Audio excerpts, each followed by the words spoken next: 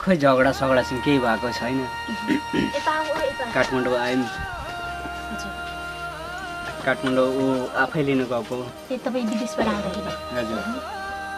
मही पनि हुनुहुन्थ्यो। अनि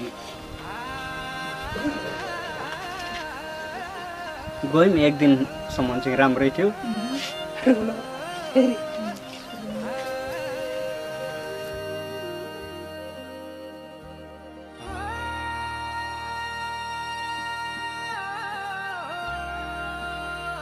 अनि अलिकति खाना चाहिँ म रक्सी खाएर आएको थिएँ। अनि त्यही पनि मैले केही भनेको थिइनँ केही गरेको थिइनँ। आमाहरू सबै थिए। आमाहरू उता यही घर भत्काएको थिइनँ घर भत्काउनुभन्दा अगाडि आमाहरू उता पल्लो घरमा सुते हामी चाहिँ यही घरमा सुतेको थियौँ।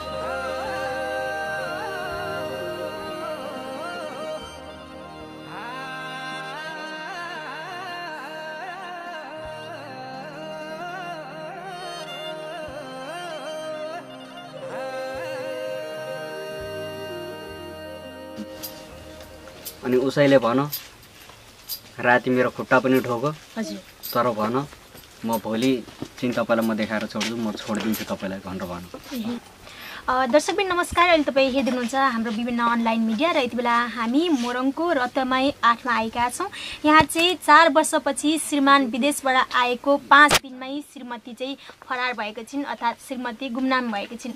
श्रीमती अर्कोसँग गएको हो या कहाँ छिन् या के गर्दैछिन् अहिलेसम्म अत्तो पत्तो छैन र उहाँको एउटा दुधे बच्चा र अर्को छोरी पनि यति बेला बिचलियामा परेको छ। र उहाँको श्रीमान तपाईँले छेउमा देखिरहनु भएको छ। चार वर्षसम्म सात समुद्र पारी गरेर त्रिपन्न डिग्रीको घाममा आफ्नो चाहिँ परिवारको खुसीको लागि उहाँले चार चार वर्षसम्म त्यस्तो होइन अर्काको ठाउँमा गुजार्नुभयो। आफ्नै श्रीमतीको खुसीको लागि उहाँले चाहिँ हरेक दुःख कष्ट गर्नुभयो।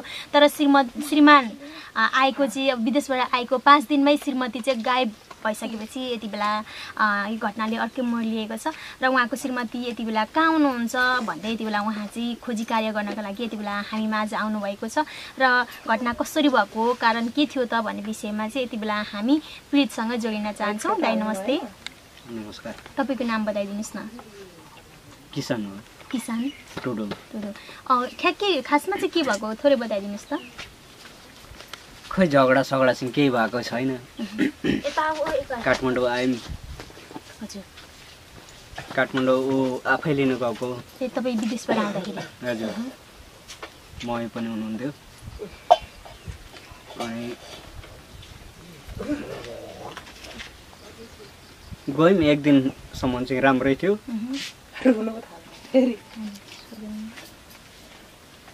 मलाई पीडा परेको छ नि भनौँ न। भोलिपल्टदेखि चाहिँ अलिक।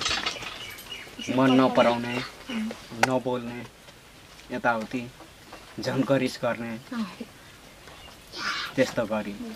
ए भनेपछि श्रीमती तपाईँ विदेशबाट आउँदैछ है भनिसकेपछि तपाईँलाई लिन काठमाडौँ पनि जानुभयो। गएको दिन चाहिँ राम्रै भयो त्यसको भोलिपल्टदेखि तपाईँसँग रिसाउने झोकिने तपाईँलाई हेर्नै नसक्ने भयो। अनि तपाईँ अचम्मित हुनुभयो होला नि त आफ्नो श्रीमतीको बानी व्यवहार त त्यस्तो हुँदैन होइन? चेन्ज भइसकेपछि तपाईँले सोच्नु भएन। अब लडाइँ झगडा पहिले पनि हुँदाखेरिमा यति साह्रो फ्याट्टै छोडेर हिँडेको पनि थिएन पहिले। पहिले कुट्दाखेरि पनि जे गर्दाखेरि पनि कुनै तरिकाले पनि हिँडेको थिएन। तर कसरी छोडेर हिँडेको कसरी छोड्न सकेको मलाई? कस्तो अनि जस्तै तपाईँ विदेशबाट आउनुभएको पाँचै दिनमा चाहिँ श्रीमती यति बेला बेखबर छिन् होइन? चाहे उहाँ वा अर्को कसैसँग जानुभयो या कहाँ हुनुहुन्छ अहिलेसम्म अत्तो पत्तो छैन होइन त? अनि जस्तै तपाईँले श्रीमतीको व्यवहारहरू चेन्ज पाइसक्दाखेरि? मैले त्यस्तो व्यवहारहरू मैले केही चेन्ज चेन्ज चाहिँ पाइनँ मैले। ऊ सबै त ठिकै छ तर यहाँ आइसकिकन आइसकिकन त्यो पनि पाँच दिनसम्म पनि हामीहरू बसिनँ मलाई राम्रो तरिकाले। ए हजुर। दुई दिन त म अब उता मरिमराउमा गएँ होइन? अनि भोलिपल्ट आउँदाखेरिमा अनि अलिकति खाना चाहिँ म रक्सी खाएर आएको थिएँ अनि त्यही पनि मैले केही भनेको थिइनँ केही गरेको थिइनँ। आमाहरू सबै थिए। आमाहरू उता यही घर भत्काएको थिइनँ। घर भत्काउनुभन्दा अगाडि आमाहरू उता पल्लो घरमा सुते हामी चाहिँ यही घरमा सुतेको थियौँ। अनि उसैले भन राति मेरो खुट्टा पनि हजुर। तर भन म भोलि चाहिँ तपाईँलाई म देखाएर छोड्छु म छोडिदिन्छु तपाईँलाई भनेर भनौँ यति मात्रै कुरो भनेर हिँडेको। यति मात्रै भनेर? के। तपाईँले त्यो रक्सी चाहिँ जहिले पनि पिउनुहुन्थ्यो कि त्यो दिन मात्र हो कि पिएर आएर होइन उता भएको कि? मरे मरबाट आएर चाहिँ मैले पिएर आएको थिएँ। तर धेरै छैन छैन। कुटपिट एकदम कसमसँगले मैले कुटपिट उसलाई एक हात पनि मैले लगाएको छुइनँ एक झापड पनि मैले कुटेको छुइनँ। जस्तै तपाईँ विदेशमा रहँदाखेरि तपाईँको श्रीमती होइन कस्तो थियो उहाँको व्यवहार कस्तो गर्नुहुन्थ्यो तपाईँसँग कसरी बोल्नुहुन्थ्यो? मलाई थोरै मात्रै शङ्का लागेको थियो। के विषयमा शङ्का लागेको मलाई मैले विदेशबाट पनि मैले के भनेको थिएँ भनेदेखि त कोहीसँग पल्केको छस् कि के भएको छस् हौ? कहिले काहीँ यस्तो झनक झनक रिसाउँछस् किन रिसाउँछस्? मात्रै यति मात्रै भनेको छु। अनि के भन भनेदेखि तिन चार वर्ष भइसक्यो मैले। आजसम्म तपाईँलाई छोडेर हिँड्नु पर्थ्यो भनेदेखि म अस्ति म छोडेर हिँडिहाल्थेँ नि। किन पर्खेर बस्थेँ? त्यसरी उसैले उल्टै मलाई हप्काउँथ्यो। उल्टै हप्काउँथ्यो अनि म फेरि म चुप्प लाएर बस्थेँ। अब दिनभरि कुरा गर्थ्यौँ। कुरा चाहिँ होइन कसैले पनि शङ्का पनि गर्न सकेन तर दिनभरि म गाडी कुदाएर तिमीहरूले पिरो हाल्छौ के गर्छौ? तर म आएर पकाउँछु भनेर भने। अनि ल ठिकै छ भनेर भने। तर मैले के भनेकोदेखि माइलो भाइ तैँले आएर पकाउनु पर्दैन म आफै पकाउँछु। तिमीहरू चुप्प लाएर बसिराख भनेर भने। अनि मलाई चाहिँ रिस उठ्यो क्या। रिस उठ्यो अनि दराजमाथि रक्सी राखेको थियो अलिकति। त आइज म सब्जी पकाउँछु म खाँदै गर्छु। आखिर त सात बजीसम्म आइपुगिहाल्छस्। भनेर मैले सब्जी पकाउन थालेँ है कोठामै। अनि हाम्रो माइली बुहारी पनि थियो उसलाई पनि मैले पकाउन दिइनँ। अनि मेरै श्रीमतीलाई मैले के भने भनेदेखि यत्रो दिन पकाइस् उ गरिस् तर आज पका न के हुन्छ त पिरो नहाल पका। पकाउँदैनस् पनि छोड त मसला पिस्थे म आफै पकाउँछु। र म आफै पकाउन थालेँ सब्जी। आफै पकाउन थालेँ। आमा पनि छ बुहारी छ बुढी पनि छ अनि सानो फुच्चे नानी छ हाम्रो माइलाको छोरो। भनेपछि तपाईँको श्रीमती चाहिँ त्यही विषयमा रिसाउनु भएको थियो? त्यसैबाट मैले रिसले भने छिटो गर्न हो कि किन त जतिखेर पनि नाटक मात्रै देखाइरहेको छस् बुढाबुढी आएको हामी त राम्रो तरिकाले खुसीले बस्नुपर्ने ठाउँमा तैँले किन यस्तो नाटक देखाएको? त्यो पनि बिचरा काम गरेर गलेर दिनभरि साइकल लोड गरेर आउँछ। उसलाई किन पकाउन लाउनु? आइज तर म बुढाबुढी पकाउँ भनेर भने। अनि नमानिकन म आफै पकाउन थालेँ उसैले मसला पिसो अनि फेरि पछिबाट उसैलाई भने नुन सुन चाखेर पानी सानी हाल्दे भनेर भने। अनि यतिमै ऊ रिसायो रिसायो रिसायो रिसाएको रिसायो भोलिपल्ट गाडीमा आउँदाखेरि पनि गाडीभित्र हामीहरू मजासँगले मेरो काखमा सुतेर आएको हो मान्छे। अँ। मेरो काखमा सुतेर आएको तर यति सुतेर आए आएर यी डाम्राभित्र आइपुग्यौँ झऱ्यौँ सबै थोक ठिकै थियो। यहाँ आएर पनि मैले कराएँ। किन यस्तो उ गर्छस् हौ तँलाई अलिक लट्ठी पतार जस्तो एकदम के भएको तँलाई? त्यो भने। कस्तो मतलब उहाँलाई कस्तो भइरहने कि रिसाइरहने एक के छ कोरो उहाँ? एक कोरो रिसाइराख्ने। एक कोरो रिसाइराख्ने। जस्तै तपाईँसँग निरन्तर बसिरहँदाखेरि उहाँको अरू कसैको परपुरुषको फोनहरू आउने भने गर्थ्यो कि गर्दैन थियो कि च्याटहरू थियो कि थिएन के? कति याद गर्नुभयो तपाईँले? त्यो मैले थाहा पाइनँ। थाहा पाइनँ। केही कुरोहरू पनि मलाई अलिकति पनि थाहा छैन। अनि यस्तो हुँदा एक त हर्ष हुन्छ चार पाँच वर्षपछि आफ्नो श्रीमान आइरहेको छ होइन? एक त खुसीको माहौल हुन्छ। त्यस्तो अवस्थामा चाहिँ अब एकहोरो हुनु अरू कसैको कसैको यादमा डुब्नु जस्तो भयो नि त एकहोरो हुनु भनेको किनभने साथमा श्रीमान छ होइन? के जस्तो लाग्छ तपाईँलाई? बाहिरतिर बच्चा बोकेर एकपल्ट निक्ल्यो त्यहाँपछि मनै उसको जस त्यसरी। कहिले काहीँ फोनमा बोलिरहेको चाहिँ सुन्नु भएन है तपाईँले? सुनेन। मैले केही पनि बुझिनँ होइन? तर अहिले मलाई ससुरालीतिरबाट हप्काउँदैछ। न त न त मलाई बेमा हामीहरूलाई बोलाउनु भयो। तपाईँले आफै एक्लैले बे गर गर्नुभयो उतातिर पनि। अनि अहिले कहाँ छ मान्छे? तपाईँको घरबाट हराएको तपाईँले नै खोजेर निकाल्नुपर्छ भनेर भन्दैछन् अहिले भनेपछि उताबाट पनि मलाई मेरो छोरीको चाहिँ कि लास कि सास चाहियो भनिरहेको छ तपाईँलाई दबाब अँ, दिइरहेको छ दबाब? दिइरहेछन् अहँ। तपाईँ के भन्नुहुन्छ? त यति बेला तपाईँको श्रीमतीले यो भिडियो हेर्दैछिन् र उहाँ चाहिँ अरू कसै पुरुषसँग नगइकन कहीँ तपाईँलाई एक दुई दिनको लागि रिस बोक्नको लागि बसिरहेको छिन् भने होइन त्यो सानो नानीले त आमा खोजिरहेको होला हरेक रात होइन त। तपाईँ पनि भर्खरै विदेशबाट आउनु भएको छ जहाँसम्म श्रीमतीको माया त लाग्छ होला नि त तपाईँलाई होइन अब लागिरहेछ नि अब के गर्नु लागेर पनि अब उसले सिधै जवाब मलाई दिइसकेको छ कि म आउँदिनँ त्यो घरमा म टेक्दै टेक्दिनँ भनेर भनिरहेछ तपाईँ फोनमा पनि बोल्नुभयो यो चार दिन? मैले फोनमा बोलेँ चार दिन चार दिन बोल्नुभयो। बोल्दा चाहिँ के के भन्थिन् उहाँले उसले भन यो यो ठाउँमा पैसा छ। यो यो ठाउँमा पैसा छ त्यहाँबाट लिनुभयो कि भएन भनेर। त्यो पनि आउने खालको आफ्नै घरमा त्यस्तो राम्रो यताउति सल्लाह फेरि पनि दिँदै थियो मलाई। फेरि पनि दिँदै थियो अनि यो यो ठाउँमा छ पैसा लिएर आउनु जानु भनेर भने भनेपछि तपाईँले विदेश रहँदाखेरि पठाएको खर्चहरू चाहिँ उहाँले सदुपयोग गर्नु भएको रहेछ त्यस्तो फुलमास गर्नु भएको थिएन? अँ फरमास गरेको छैन। तर उसले दस हजार पाँच हजार पन्ध्र हजार त्यसरी होइन। तर अहिले म महिना दिन हुन आँटिसक्यो होइन। मेरो घरमा पाँच हजार रुपियाँ पैसा खर्च भएको छैन। उसले चाहिँ महिनामा त्यति सक्थ्यो? अँ त्यति सक्थ्यो।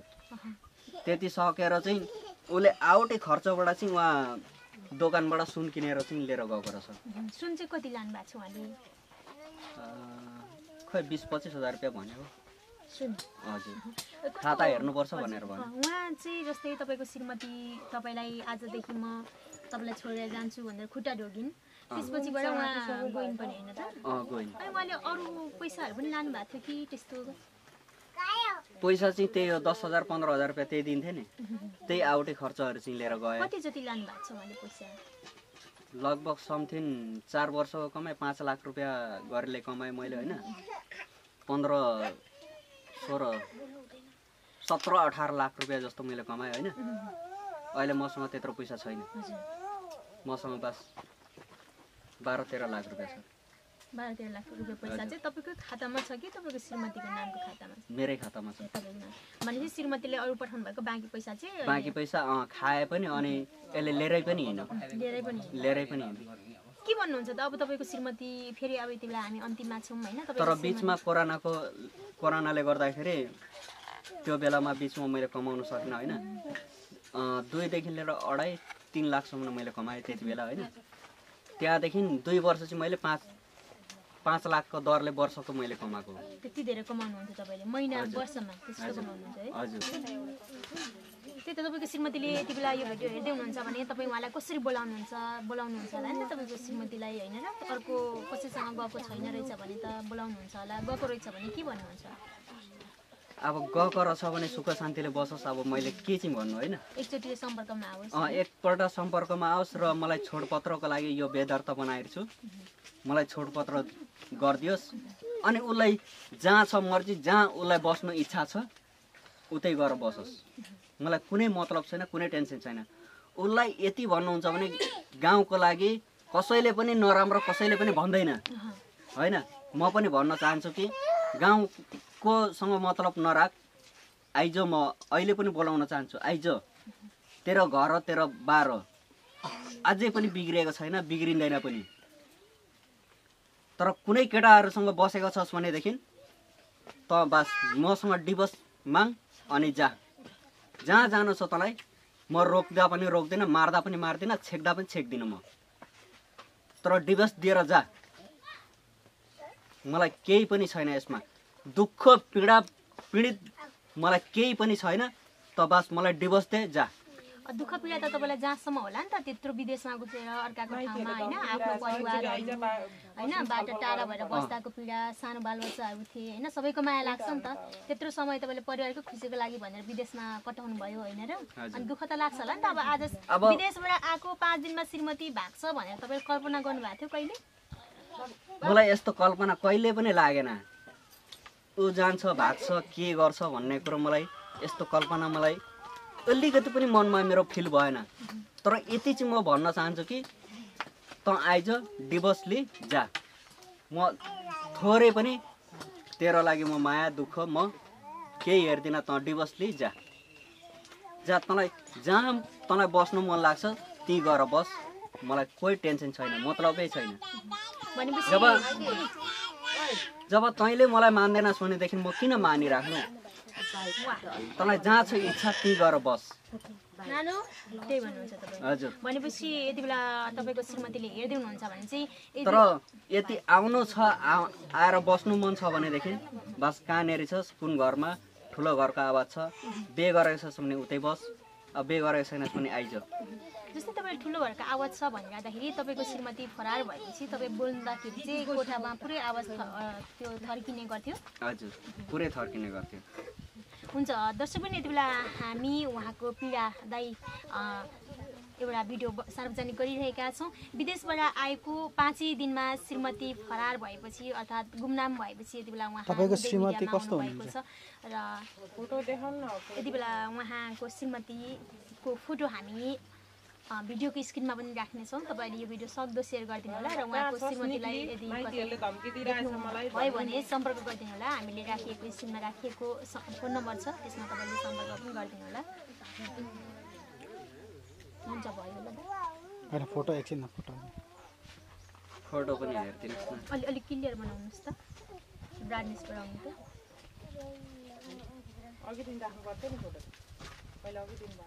होइन हामी स्क्रिनमा राखिदिन्छौँ। अहिले चाहिँ यहाँ भिडियोमा पनि देखाउनु पऱ्यो उहाँलाई उहाँलाई देखाउनु लानु ल देखाउनु नि यहाँ क्लियर बनाइदिएको नि। ल यसो गरेर यो हो भनेर देखाउनु अलिक देखाउनु त। सिधा सिधा। सिधा सिधा।